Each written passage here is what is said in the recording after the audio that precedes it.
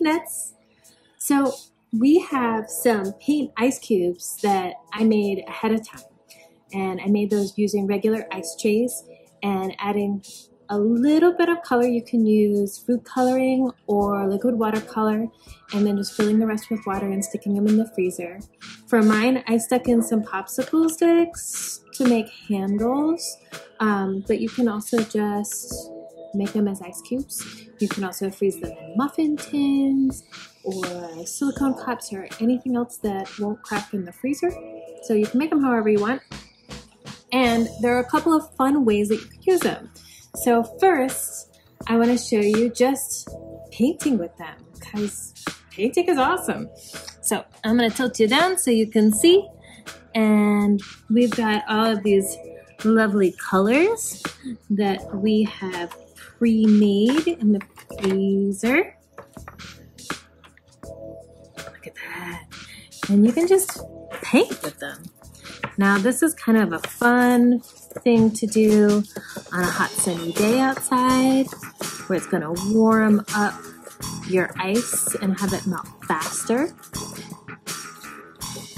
You can leave them in spots and see how long they take to melt. You can use them kind of like markers and draw with them. So definitely something fun to do outside when it's nice and sunny. So, aside from just painting with the ice cubes, there are a couple of other really fun things that you can do with them because ice is pretty fun. So, what I'm going to do now, put you down so you can see, is actually do some cool color mixing with my ice cubes.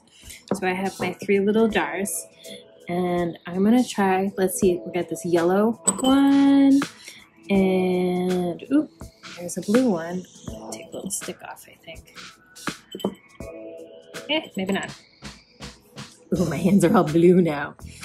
And I think in the second one, I'm gonna do some red and blue. Ooh, that's exciting. And in the last one, I'm gonna do some yellow and red.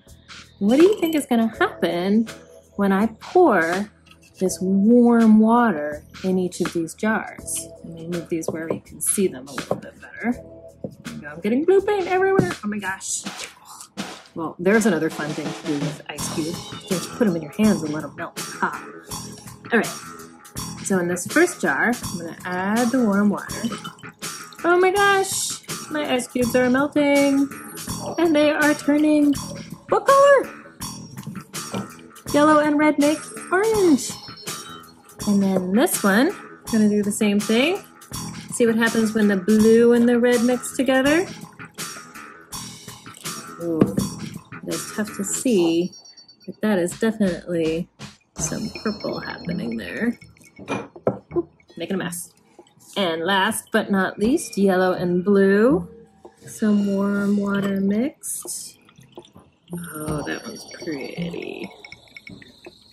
That is making a lovely shade of green. I'm actually gonna take this light that I have back here and shine behind so you guys can see better. Oh, wow, that is so pretty.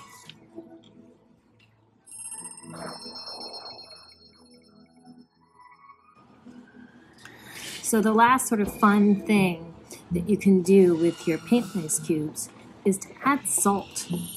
Because salt actually speeds up the melting process. And it can do some pretty cool things.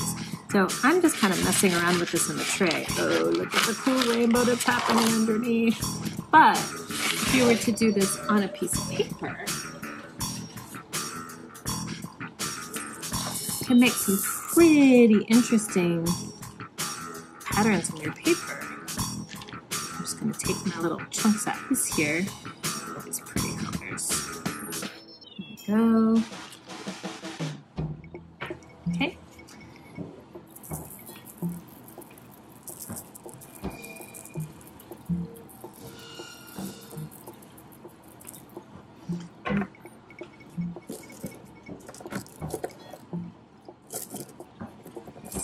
Changes the feeling. I can feel like the difference in the texture and the ice.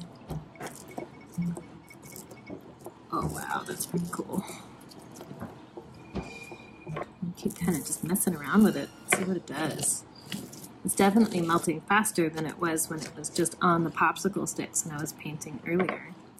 I wonder what would happen if I took like a white crayon or even any crayon and drew on the paper first and then put the painted ice cubes on top and either salted them or just let them be or just painted with them.